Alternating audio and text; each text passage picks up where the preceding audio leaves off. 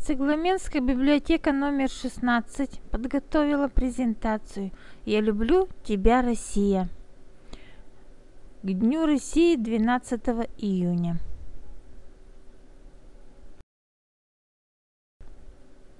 Двенадцатого июня наша страна отмечает День России. В этот день мы славим нашу Родину, страну с тысячелетней историей и уникальным наследием – страну, объединившую на огромном пространстве множество народов и культур. Для каждого человека Россия начинается с его малой родины. Где бы мы ни родились, где бы мы ни выросли, все это наше родное Отечество. А вместе мы один единый, могучий российский народ. Только сплоченный народ может сделать свою страну богатой, открытой миру – только сообща можно сделать государство прочным, надежным, а страну счастливой.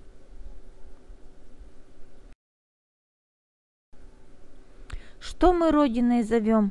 Дом, где мы с тобой живем, и березки, вдоль которых рядом с мамой мы идем. Что мы родиной зовем? Поле с тонким колоском, наши праздники и песни, теплый вечер за окном. Что мы Родиной зовем? Все, что в сердце бережем, и под небом синим-синим флаг России над Кремлем. Родина – это слово с детства знает каждый. Родина – это место, где ты родился, где ты живешь – со своими родителями, со своими друзьями. На свете много разных стран, но есть одна. От белых льдов до теплых рек раскинулась она. Посмотрите на карту мира и сравните нашу страну по размеру с другими странами. Вы видите, что наша страна Россия – самое большое по площади государства мира – Велика наша Родина, если сесть в самолет и пролететь над ее территорией, то можно увидеть белоснежные толщи льда Арктики. Знойные пустыни,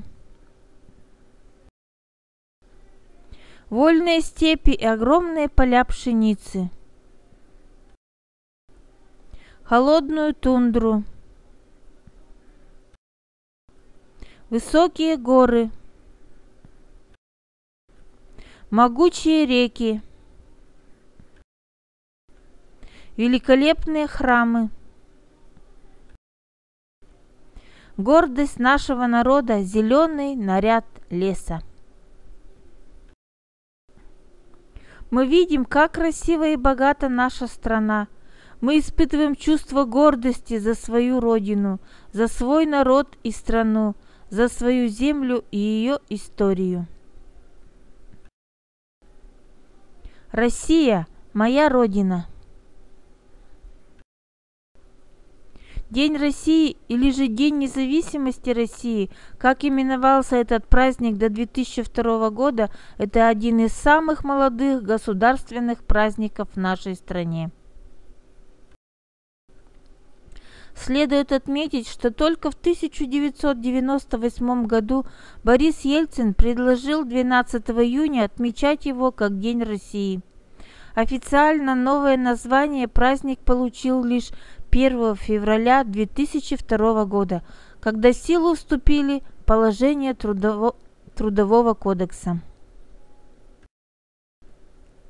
День России сегодня – это праздник свободы, гражданского мира и доброго согласия всех людей, живущих в нашей стране, на основе закона и справедливости. Это праздник – символ национального единения и общей ответственности за настоящее и будущее нашей Родины. Наша история многому учит нас – не идеализируя прошлое нашего государства, мы не отказываемся от традиций, истоков и корней. Но являясь равноправным членом мирового сообщества, учимся понимать, что независимость и свобода – это прежде всего ответственность. Олицетворяют родную землю ее символы – Каждое государство имеет свои символы. Это герб, флаг и гимн. Символы – это знаки отличия нашей страны от других стран. Символы нашей Родины насчитывают не одну сотню лет. Первый государственный герб России появился в конце XV века. Первый флаг в XVIII веке, а первый гимн в XIX веке. Герб – это отличительный знак государства, изображаемый на флагах и других официальных документах. В нем отражена история. Герб России представляет собой изображение золотого двуглавого орла, помещенное на красном щите. Это символ единства народов России. Над орлом три короны. В лапах орла скипетр, золотой жезл и держава, золотой шар – а на груди на красном щите всадник, поражающий копьем дракона. Короны над головами орла рассматриваются как символы союза республик, краев, областей, из которых состоит Российская Федерация. Скипетр и держава означают сильную власть и защиту государства и его единства. Всадник на щите – не только символ столицы России Москвы, на олицетворение победы добра над злом, готовности нашего народа защищать страну от врагов. Наш российский флаг трехцветный, каждому цвету придается свое значение. Белый цвет – цвет чистоты и надежды. Красный цвет крови, жизни. Синий цвет безоблачного мирного неба. Государственный флаг Российской Федерации постоянно поднят на зданиях органов власти нашей страны. Он вывешивается в дни государственных праздников, торжественных церемоний, поднимается на зданиях дипломатических представительств России за рубежом. Флаг – наша святыня, и мы должны относиться к нему с уважением и почитанием. Гимн используется в особых, наиболее важных случаях. Его слушают и исполняют стоя. Гимн имеет огромное значение для своего народа, как в прошлом, так и в настоящем. Торжественные звуки гимна сплачивают нацию, вселяют в нее чувство гордости за свою родину, вдохновляют народ на новые свершения. Такова идея гимна. Обязательная традиция – иметь каждой стране свой герб, флаг, гимн установилось в 20 веке.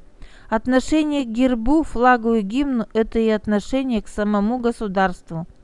Мы познакомились с государственными символами величия и могущества России. Они достались нам наследство от предков. Какими они будут в будущем, зависит только от нас. Владимир Владимирович Путин – Президент Российской Федерации. Столица, главный город государства – Москва. Москва – это Красная площадь. Москва – это башня Кремля. Москва – это сердце России, которое любит тебя. Помимо традиционных символов в виде герба, флага и гимна, каждая страна имеет ряд других неофициальных символов – которые обозначают специфические для каждой страны историю, культуру и быт. Россия также имеет свои полуофициальные и неофициальные символы. Красная площадь – главная площадь нашей страны. На ней проходят военные парады и другие мероприятия – в старые времена Красная площадь выглядела иначе. На ней шла торговля. Сюда съезжались со всего города и окрестностей, чтобы купить или продать что-либо. Здесь в ноябре 1941 года, несмотря на активное наступление фашистов и поражение наших войск, прошел ежегодный парад в честь 24-й годовщины октября. Здесь 24 июня 1945 года прошел парад Победы, на котором народ-победитель нес фашистские знамена и бросал у подножия мавзолея знак полного поражения захватчиков. Здесь 9 мая ежегодно проходят парады, демонстрирующие всему миру мощь российской армии. Красная значит красивая. Вспоминая Россию, любой человек обязательно назовет русскую березку. Для русского человека нет роднее любимое дерево, чем белоствольная береза. Ей поют песни, складывают сказки, пишут стихи. Береза – одно из наиболее почитаемых у славян деревьев. В народной традиции береза может выступить как счастливое дерево, оберегающее от зла. А какими вениками полезнее всего париться в бане? Конечно, березовыми. Они возвращают бодрость духа и прочищают все тело от накопившейся усталости. Кроме того, береза дает радует глаз и душу, она еще дает и полезный сок. Русские щи. По предположению историков, это блюдо было известно на Руси задолго до ее крещения. Когда-то щами называли практически все похлебки.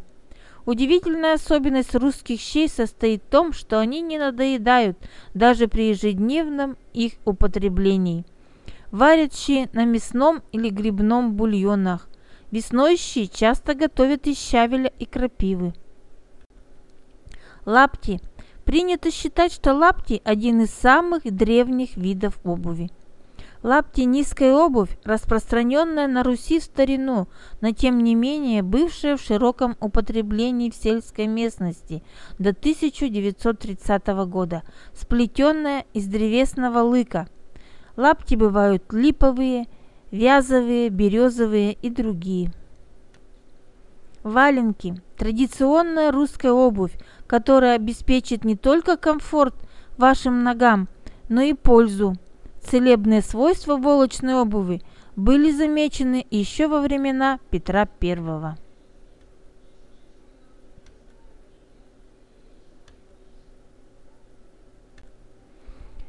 Почему медведь символизирует Россию? Потому что он не просто силен, а могуч, коварен и лют. При кажущейся нескладности и неповоротливости может быть исключительно стремительным и ловким.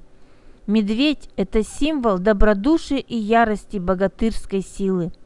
Русских сравнивают с медведями, с одной стороны, в их нерасторопности и незлобивости, с другой – в их умении постоять за себя. Недаром именно медведя выбрали символом Олимпиады, проходившей в Москве в 1980 году. Позднее он стал символом одной из ведущих политических партий России – «Единая Россия». А в 1000 а в 2014 году Мишка стал одним из символов Сочинской Олимпиады. Мишка – одна из любимых мягких игрушек, герой многочисленных русских народных сказок и мультфильмов.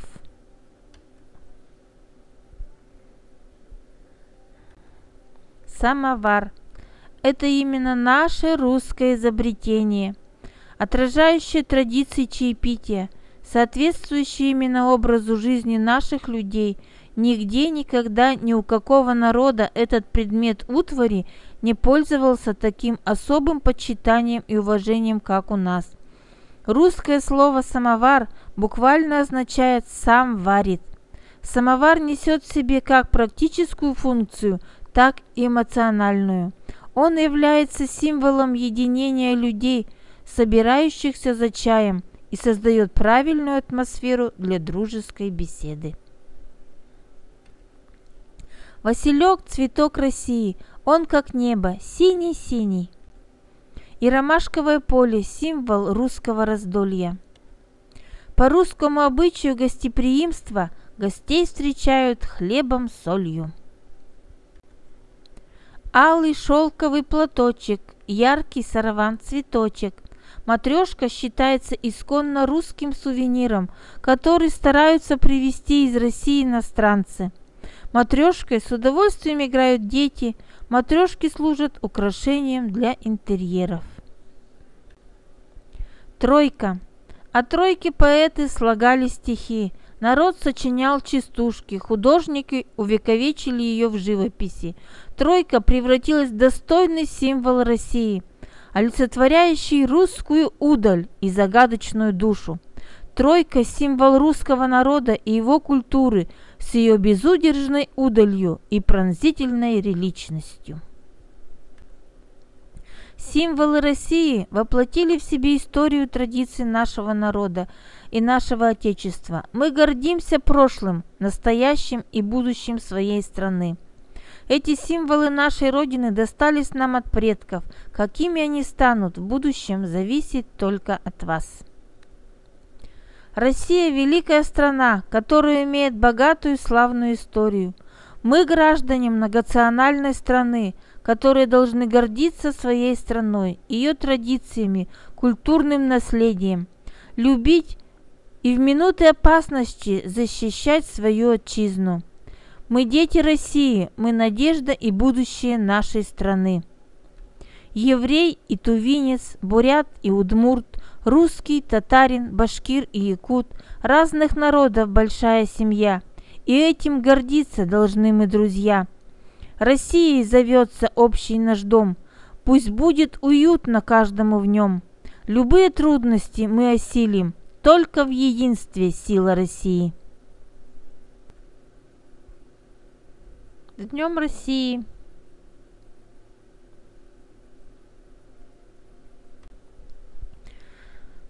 Библиографический список литературы.